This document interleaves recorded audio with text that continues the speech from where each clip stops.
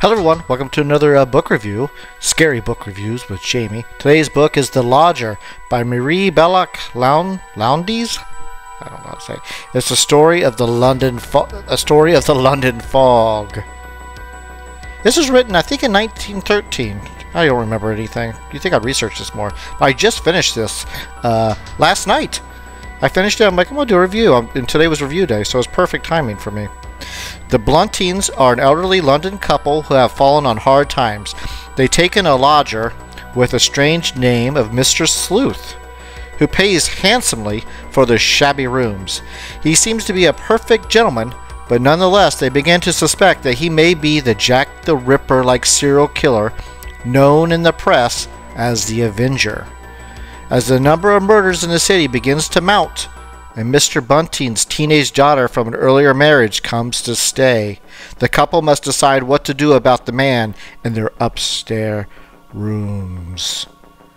This is an early example of a psychological suspense story and a brilliant. Oh, yeah. Here's the thing no gore, no violence, really. Just you constantly turning the page going, what is going to happen next? This is. People say this a lot, a, a page turner, but this is it. This is a really good. My dad sent this to me. He sent me a. I think I did a review on the Vampire, which was the first ever American. You should check that review out. This is the first ever American uh, vampire uh, story. And my dad sent this to me as well on top of it. And I just finished it. And uh, thanks, Dad, if you're watching this video. This was really good. I love these old. I like Victorian.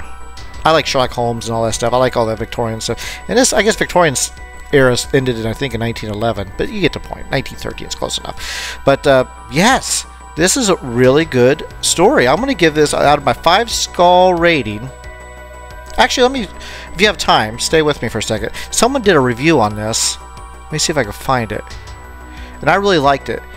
This is a, uh, I think it's a girl. I can't tell by the name, but I will say her name. But she wrote, it's she wrote another classic whodunit from the Victorian era. So she's called it the Victorian era too. So published in 1913, The Lodger is filled with suspense and mystery.